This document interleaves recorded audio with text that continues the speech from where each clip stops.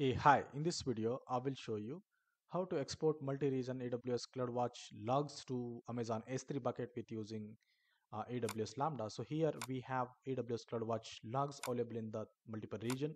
So here we're going to build a solution with using two AWS Lambda in region AWS uh, US West 2.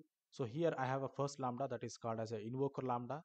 This Lambda will be scheduled to run you know periodically, basically daily uh, which will actually list out the, all the AWS CloudWatch logs present in the AWS account. And then, you know, triggers the second Lambda. The second Lambda is the Lambda which has the logic, which is, uh, you know, uh, to create a CloudWatch log uh, groups export task in the CloudWatch logs. So basically it creates the an instance of AWS Lambdas run. That is the second Lambdas run. So which will actually export the logs from EU West 1 region to a bucket that is created in a EU West 1 because you know uh, if you are using the AWS CloudWatch logs and you created a log export task it needs the uh, you know the uh, S3 bucket that is present in the same region then only the export is possible. That is how the CloudWatch log export task works. So here the lambda is creating an export task that's all. And it is using the you know the uh, Boto 3 uh, models. I'm to walk you through the code uh, you know after a bit uh, right so here um, you know uh, when it creates the second instance which will again you know target to the us west 2 region and it will store the into the amazon s3 bucket that is created in a us west 2 region. Likewise for the another region as well. So basically as you see now the complete solution right? So we have a two lambdas. First lambda which is runs on a scheduled basis its job is to list all the CloudWatch logs groups present in the region that is in the scoped list of regions of an AWS account. And then on that list, you know, it will gonna invoke one one instance of AWS Lambda, that is second Lambda. The second Lambda's job is to, uh, you know, create a CloudWatch log groups export targeting to an Amazon S3 bucket that is sitting in the same region as CloudWatch log groups. Now you might be wondering now my all the CloudWatch log groups are now stored in Amazon S3 bucket. Now how do I consolidate it or how do I aggregate it, right? So here, so I'm going to show you that uh, in a while. But before that, I would like to tell you the advantage here. That is that, you know, the if you are keeping the logs in AWS CloudWatch log groups, uh, so that will have a more cost on the storage. Now you are exporting that logs into uh, Amazon S3 bucket, which is a low cost storage and henceforth that is a cost uh, you know the optimization opportunity here.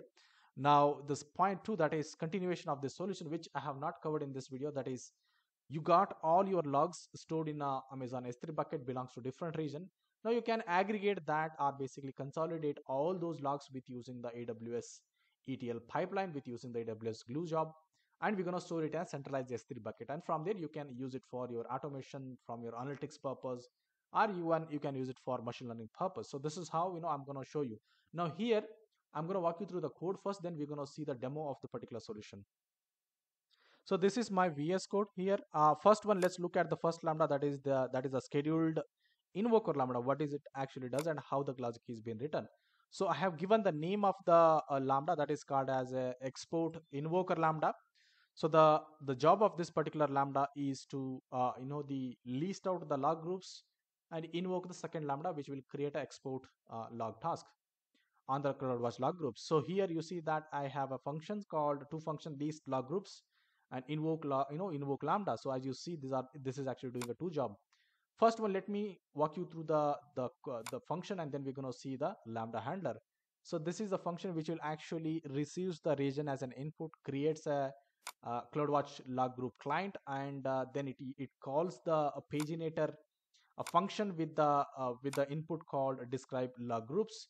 And henceforth it actually uh, you know gets the result. And from the result it is extracting the log groups names collecting that into a array list uh, basically list and then sends back as a uh, you know the list as a return here. Similarly the, the second function as the name says invoke lambda. This, so this uh, the the job of this particular function is to invoke the second lambda which is actually exports the CloudWatch logs to Amazon S3 bucket by creating the CloudWatch log exporter task. So here it is actually getting the log group name, function name, region and the source region. So here it is creating a lambda client constructing a dynamic payload called with a with a key value pair called log group name and region which is a dictionary by the way so and we are using that dictionary to invoke the aws lambda and uh, and you know so and this event is being read by the second lambda which is uh, exporter lambda and then it will create a CloudWatch log group export accordingly. And that is how we are orchestrating here in the handler. So here you can expand this list that is you know source region list according to your need. But you know I'm going to tell you that there are a lot of you know obstacles that you know you need to take care before you expand it for multiple regions. And then the my lambda solution is sitting in a US West one. That's the reason this is my uh, lambda region. This is the lambda function name and then this is the for you know for each loop which is actually uh, first one it is actually calling the above function which we discussed.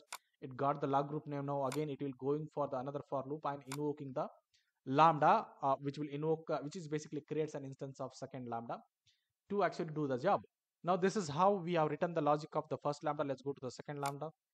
The now the second lambda job as you uh, you know as we have discussed its job is to create a exporter task. So for that case we just created only one function called create cloudwatch log exporter task. And that has the log group name from and to date because we need from and to date uh, you know to create the, uh, the the export task. And the destination bucket of course the bucket has to be in the same region as the cloudwatch log groups region. And then the bucket prefix, prefix which is needed for dynamically you know populating into the bucket. So uh, here you know we will see you know what is the logic we have written here to create an export task. Uh, so here you see that we are importing a time here uh, inside the the function itself. But by the way the best practice is to keep it in the here in the top so we don't need this one. So i'm going to remove this off right? And then um, you know the down the line we are actually creating the log client that is cloudwatch log group client. Uh, and uh, since it is potentially you know the uh, there is a you know the issues of aws uh, Boto 3 APIs or AWS APIs. So that's the reason just to take care of the errors because of the, the limitations of the APIs. That's the reason we have added the exponential backup as well, which we'll try for five times. And here, you know, we, we are trying that five times with using the for each loops, for loops. And then here we are invoking the uh, uh, API called create export task with using the group name uh, from and, and to date. Destination is the bucket and the prefix Alright, so this is where you know you are creating a task on the CloudWatch log groups, and uh, so now just have a look at here, right? So basically, now let's go back to the event handler. That is the lambda handler. The lambda handler, you know, it listens to the event that is being passed by the first lambda. It is, you know, in that event, it listens to the uh, in that event, it gets the information of log groups, a region, right? And once it guards those info information, that is log group name and a region, uh, it uses those and creates the uh, you know the export task. So how does it creates? We're going to see it down the line. So it is dynamically identifying the bucket name because here i have used the naming conventions to identify the right bucket of the destination right? And that is only possible by a naming convention. So i have created a naming convention per region. So here is the prefix of the bucket and then that is replaced with the region uh, you know converted into lower uh, cases. Then we have the number of days as a parameter to construct the from date and to date right? So you can have a look at this one. Uh, and then finally we are actually uh, calling the function to create an exporter task where we provide the log group name uh, you know from date to date. We constructed the from date and to date within this function. Destination bucket is dynamically constructed with using the prefix and the region name. And then the bucket prefix is again it's a constant and then we have a region right? So then these are all the you know the inputs we are passing while creating a task. And that is how you know this this lambda is been uh, is been written. Now what I do is now I'm going to take it to the my AWS account and we're going to see this particular setup and we do a demo. So here, let me first take you to the CloudWatch uh, log. So this is uh, my AWS account and uh, currently we are in the Oregon region. Uh, in the Oregon region, we have the log groups. So currently it has 46 log groups by the way. And uh, for this demo, I am using the three region. One is the Mumbai region. The other one is basically the Ireland region. So in the Mumbai, we have uh, 22 log groups. Uh, in the Ireland region, so we have uh, uh, you know the 17 log groups. Right now, we are running a lambda which will read all these log groups names and send as a payload. Okay. Now let's see you know how does it work. So so this is the our source side. Now let me show you the lambda which we have written. The first one is basically invoker lambda, right? So here, where is the invoker lambda? This is the export log invoker lambda. So this is export log invoke lambda. You know, it is scheduled lambda. You can schedule it to run once in a day so that it will initiate the job and export the logs. so this is very simple lambda by the way this is the python uh, 3.12 uh, runtime lambda and the whatever the code i have walked you through so that's the same code we have written here as you see let me uh, open this particular code here so basically so this is the code we have written which is actually lists the log groups uh, invokes the lambda and this is the lambda handler right? And this is all about the you know the uh, invoker lambda that is export log invoker lambda. Now we're going to see the second lambda uh, which is used to create a multiple instances while performing this particular activity. So the next lambda is called as an exporter lambda. So again this lambda is the python 3.12 runtime uh, and the logic is already been deployed. So this the the logic of this particular lambda as i walked you through its job is to read the event that is uh, basically you know it is invoked by another lambda right? And and passing as a, as a payload as an event. In that one you're gonna get the two parameters. One is the log group name and the region name. With using that you are constructing the export task in the CloudWatch okay so that is what the under the hood happening. Now let me take you to the other side. Basically you know I have created a three log bucket which is basically the destination bucket which will store the CloudWatch log. So here is the three buckets we have created have a look at the region so you need to make sure that you know these are the regions in the sense you are exporting the logs from the CloudWatch uh, CloudWatch logs from the AP Southeast, uh, AP South 1 region, then you need to have a bucket which is stored in the AP Southeast, AP South 1. Similarly, for EU West 1, if you are exporting the logs from EU West 1, you need to have a bucket created in a region EU West 1. Likewise for US West 2, okay. And along with that, on this bucket, you need to create one S3 bucket policy as I explained in the, my previous video of this. That is, if you go to the permissions and in the permissions, you know, you need to construct Amazon S3 bucket policy so this is the S3 bucket policy and it has a two statement by the way. So first one is, you know, this is the, it is trusted by a service that is uh, the CloudWatch log. So basically log.region.aws Amazon, Amazon AWS.com. And then the permission that we are giving is basically get bucket ACL and uh, belongs to this particular bucket. Similarly, uh, you know, the another action that is put bucket object. So basically here the CloudWatch log you know service will upload the logs into this particular bucket that's the reason we have to add this uh, s3 bucket policy and make sure that you know your s3 bucket policy changes according to your bucket name and region name so here is the ap south one bucket so i'm using this uh, you know this service uh, you know the, this is the uh, service principal of the amazon log group amazon cloudwatch log group Similarly, this is the bucket name which is belongs to South South one. So similarly, you have to construct the S3 bucket policy. No need to worry. I have constructed that policies uh, in this particular uh, you know the repo. I'm going to share this uh, you know the code base repo link. You can choose it from there and try to just modify here. So that is about the S3 bucket policy. You need to keep it in a destination. Okay, so with that, you know that is how we set our destination. That is uh, the the log. Yeah now what we do is you know now i'm going to start the you know the the the demo that is if i open one bucket there is no nothing has been there here and we can also check for the another region as well right now we don't have anything so what i do is you know i'm gonna uh, you know i'm gonna initiate the task now by just clicking or just testing this particular lambda okay so this is everything is set now what i do is you know consider that a scenario where a scheduled lambda is getting triggered now. So what is that? It is happening. If you see in the output it is executing the lambda. That is basically it is executing the logic and invoking the second lambda. And here you can see the logs uh, clearly. So it says that you know in the EU West region so it has identified these many number of uh, CloudWatch log groups. And on each CloudWatch log groups it is initiating the export task which we're gonna see now from the CloudWatch log so currently I'm in Oregon region so we can go to the uh, you know the go to the export logs okay? And here you should see the logs. You see that it has just now created these many number of uh, you know the the export task. And if i refresh you know it should be getting completed by now. So you see that these are all successfully completed and uh, yeah it has successfully completed all the logs so likewise you know it does similar job for the uh, you know the another um, you know the region as well. You can check that.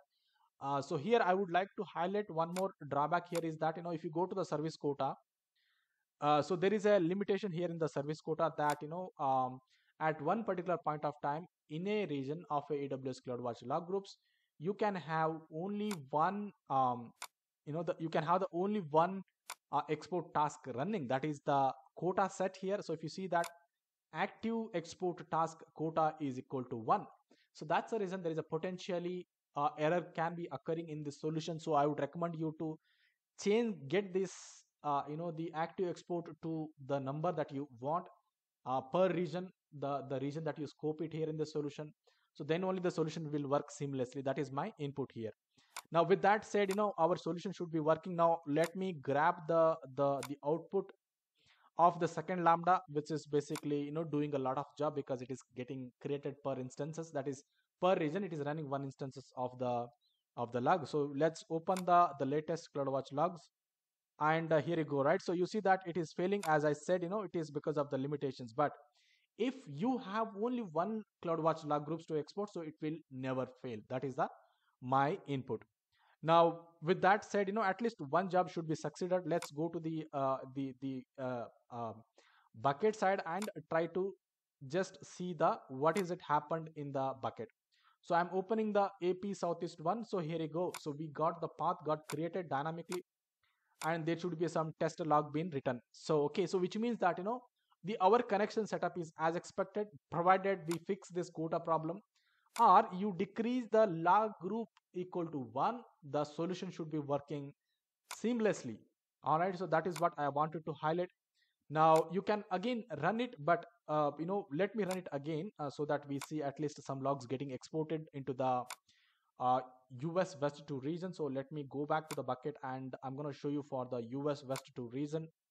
So if I go to the US West 2 region and then here uh, we will see that you know the uh, it has already created the the path as as per this uh, as per the another region as well. And uh, so you see that we not only have the log write test but it also has exported some logs in this particular format. And here you go. So we have uh, you know lot of logs being copied here. So enormous logs are being copied and, and put it across into this particular S3 bucket. Alright, so this is the how we're gonna you know export the logs from multiple region uh, into the Amazon S3 bucket and from there we're gonna consolidate and put it into a single bucket, right? So the second part of the demo is depends on you know how famous this video becomes. If you like it, please try to subscribe it, like it so that I can create a second version of this particular video that is how to consolidate these logs and put it into a central bucket. And then we, you know, further, uh, you know, further versions of the video will be continued. One finally, a kind request, please do subscribe my channel. That would really encourage me a lot. With that note, thank you. Thanks a lot and see you in the next video.